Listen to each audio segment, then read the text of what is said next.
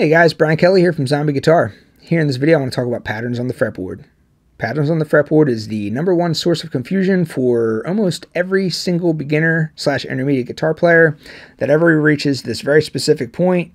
It's like right here. All right, this this point right here. That point is the point where everyone reaches where you're trying to learn how to solo in key across the neck of the guitar up and down the fretboard in one single key, such that, let's say you're jamming with a band and the band says, hey, take a solo in the key of B minor. We're all over here jamming in the key of B minor. The piano player is playing in B minor, the bass player is playing in B minor. Everyone's in B minor. We want you to stay with us. We want you to jam in the key of B minor.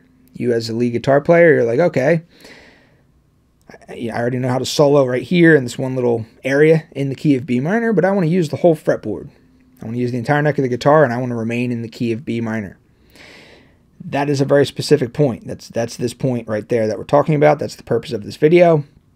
That very specific point is exactly where all of the misinformation starts getting fed into your brain. All right? All of it.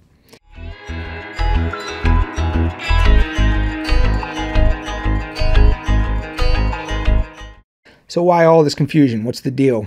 Well, this thing right here, this fretboard right here, has 12 notes on it.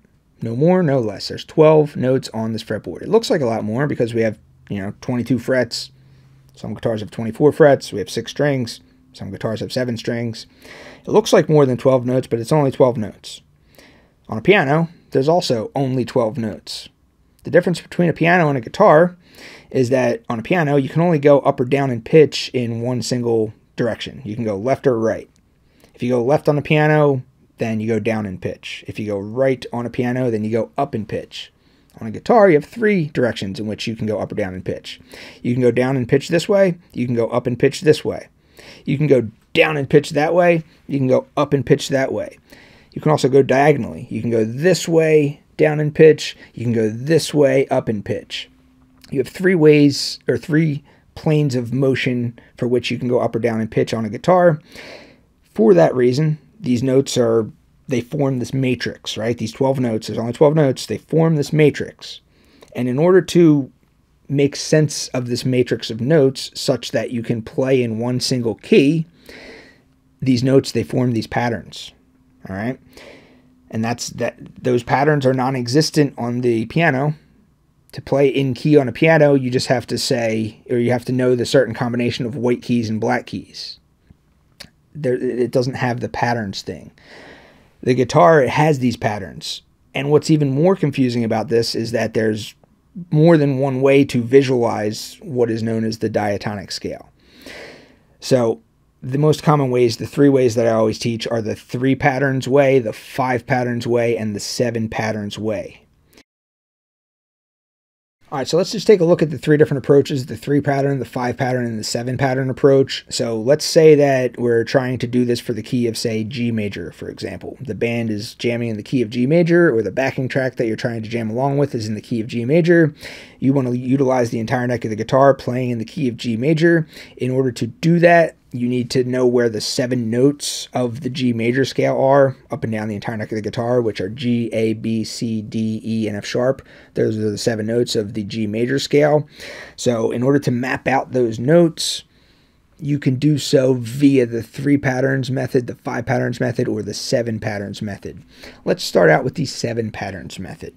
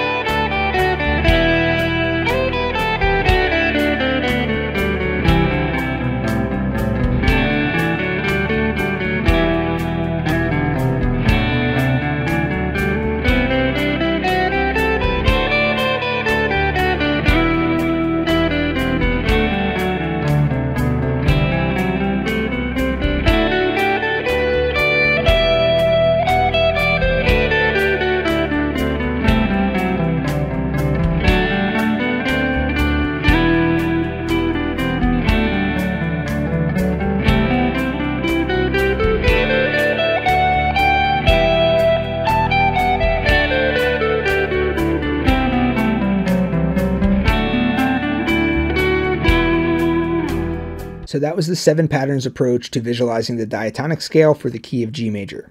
All right. So keep in mind that the numbering or the labeling of these patterns is completely arbitrary. You can call them whatever you want.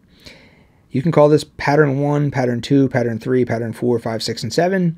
You can assign letters to them. You can you can call this the red pattern. You can call this the brown pattern. You can call this the yellow pattern. You can call them whatever you want. People commonly call them the Ionian mode, the Dorian mode, the Phrygian mode. If that's what you do, if that's what makes sense to you in your head to label these patterns by these modal names, and it allows you to get this job done for this very specific task that you're trying to achieve, then that's fine. All right, you're getting your specific goal accomplished, but just be aware that that's not what modes are. Those are just arbitrary labels that you're assigning to these patterns. All right, modes is something else. If you want to learn about modes, I'll post some lessons to that below. You can dive into modes. Um, but yeah, so so arbitrary numbering, arbitrary labeling of these patterns, whatever. You can call this pattern 2, you can call this pattern 12, you can call this pattern 57, whatever allows it to make sense to you in your own head so that you're like, "Oh, okay, I'm here, I'm playing pattern whatever. Whatever gets the job done, go for it. Just understand they're not modes, all right? It's the seven patterns approach. So then you have the five patterns approach. So let's just run up through the uh, five patterns again real quick.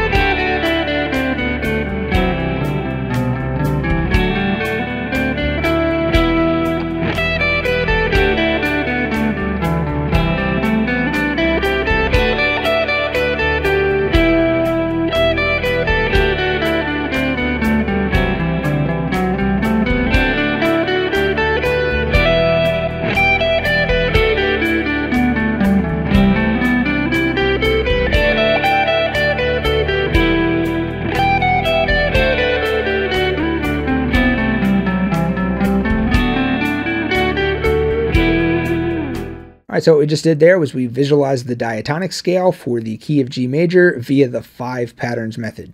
We previously did it using the seven patterns method. Now we just did it for the five patterns method. You have options. You can choose the seven patterns approach. You can choose the five patterns approach.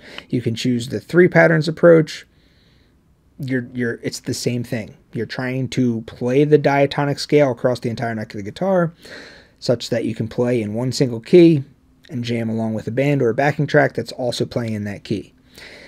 Again, these uh, these patterns they're arbitrary. You can label them however you want. You can call this pattern one, two, three, four, five. You can call it pattern A, B, C, D, E, whatever. This is where the confusion with the CAGED system comes into play. People commonly misunderstand the CAGED system and they think that this goal, which is right where we're at right here, where we're trying to connect the diatonic scale patterns, they think that that's what the CAGED system is for. It is not. This, they call this the E pattern. They call this the D pattern, the C pattern, the A pattern, and the G pattern. Again, it gets the job done if you if you're if you think you're studying the CAGED system and that's what you came up with because you're here and this is your specific goal and it allowed you to achieve that specific goal at that specific time and you can now jam with musicians that are playing in a key and you can utilize the whole fretboard cool it got the job done But you're missing the point of the CAGED system. That's not the CAGED system. The CAGED system is much, much more powerful than that. The CAGED system, magical. Okay, the CAGED system is mind blowing stuff for a lot of people because it's all about chords, it's all about chord tone targeting, it's all about hitting those magical notes, it's all about soloing over chord changes. It is not about connecting the diatonic scale patterns together. All right.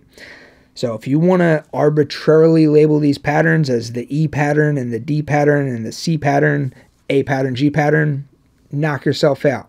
Just understand there's a lot more to the CAGED system than that. If you want to learn about all that CAGED stuff, check out my free lesson, which I will give a link to. I already said that, but I'm saying it again. That's what the CAGED system is all about. This is not the CAGED system. This is the five patterns approach to visualizing the diatonic scale. And then you have the three patterns approach. So this is my favorite one because it's the least amount of patterns that needs to be remembered. In my opinion, that makes this the simplest approach to visualizing the diatonic scale.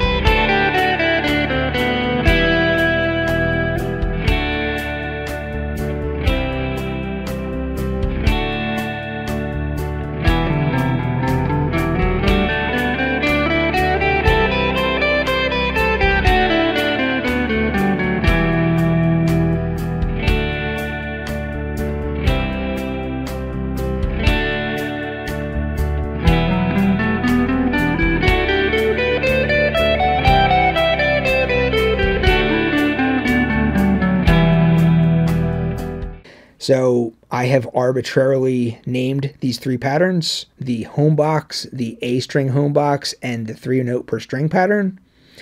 Those are just the names that I came up with. Those are the names that I have that, that allow me to, you know, assign labels to these different patterns, these three different patterns. Just because one of the patterns is called the three note per string pattern, that does not mean that that's the only three note per string pattern. There's the, the seven patterns approach to visualizing the diatonic scale, that's seven three note per string patterns all connected to one another. It's not modes. It's seven three note per string patterns though. So if you like three note per string patterns and you like doing legato runs and stuff like that, then the seven patterns approach may be one that you prefer. In my three patterns approach, home box, A string home box, uh, three note per string pattern. Those are just my arbitrary labels that I assign to them. Some common questions. Which is the best approach to use? The three patterns approach, five patterns approach, or seven patterns approach? And to that, I just say, well, it depends. It depends on what you want to do. The uh, the seven patterns approach is beneficial because each of the patterns is three notes per string, and people like three note per string patterns because it allows for some nice legato runs. It's nice for alternate picking too because it's down, up, down, and then when you get to the next string, it's up, down, up. And then when you get to the next string, it's down, up, down. So three notes per string allows you to keep with your alternate picking and stuff like that. People like three note per string patterns. If that if that's uh, your thing, if you like three note per string patterns, I love three note per string patterns myself. The seven patterns approach might be for you. The five patterns approach. So people like the five patterns approach because typically one of the first scale systems that you learn on the guitar is the five pentatonic positions. So the five patterns approach to visualizing the diatonic scale is nice because um, it, it, it's basically the five pentatonic positions, but with the addition of the two additional notes to create the full diatonic scale. The pentatonic scale is just five notes, the diatonic scale is seven notes. So each of these five patterns within the five pattern approach is the pentatonic scale plus two additional notes. Remember, there's only 12 notes in total on this guitar. So pentatonic is five, diatonic is seven. The five pattern approach it, it's it coincides with the whole five pentatonic position line of thinking. So that's the benefit of the five pattern approach. The benefit of the three pattern approach, as I already said, you only have to memorize three patterns. It's the simplest one, in my opinion. Every single scale that I teach on the Zombie Guitar website is done using the three patterns approach, at least in, in the courses, in the soloing courses. You can visualize any seven note scale using the three patterns approach. Another question, do these diatonic scale patterns, are they the same for all of the modes of the major scale? And the answer is yes. So once you know this diatonic framework, which is what we just looked at right here, whatever it takes for you to learn the diatonic framework across the entire neck of the guitar, whether you choose to do so via three patterns, via five patterns, or via seven patterns, whatever it takes for you to do that, once you know the diatonic framework, that framework is exactly the same for all seven modes of the major scale. The only difference between each one of the seven modes is which one of the seven notes is dictated as the tonal center within the patterns. Remember, we're only dealing with seven notes here. All right. There's only 12 notes in total on the guitar. In this lesson, we're only focusing on the key signature of G major, which is seven of the 12 total notes. So, of these seven notes, dictating the first note which is the note G in this key signature, dictating that note as the tonal center. That's what the Ionian mode is. Dictate the second note as the tonal center. That's where the Dorian mode comes from. Dictate the third note is the tonal center. That's where the Phrygian mode comes from. This is even strengthened when you when you use this as a soloing framework over the associated chord. So in any given key signature, you have seven chords. In any given key signature, you have seven notes. So first chord, first note, that's your tonal center, Ionian mode. Second chord, second note, that's your tonal center, Dorian mode. Third chord, third note, that's your tonal center, Phrygian mode.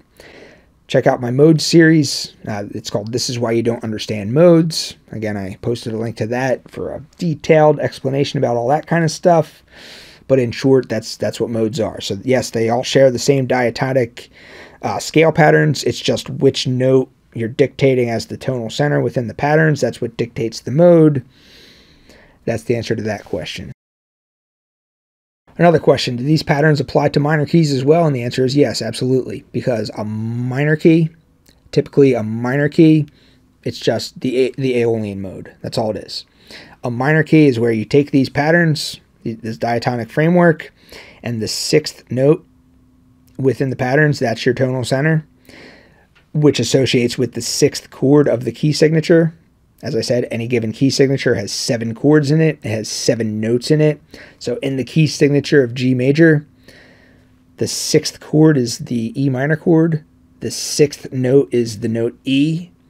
So play using this diatonic framework, write chord progressions using the chords that are found in the key of G major, but everything is E, E, E, E minor, E minor, E minor. Everything is emphasized on your E minor tonal center, with the E being your tonal center. There you go. You're playing in a minor key. You're playing the key of E minor. And then the fourth and final question is Is zombieguitar.com as awesome as you make it out to be? You being me. And the answer to that is yes, definitely. Zombie Guitar is very awesome. It's probably even awesomer than you imagine. It's actually the greatest guitar lesson website that has ever been added to the internet.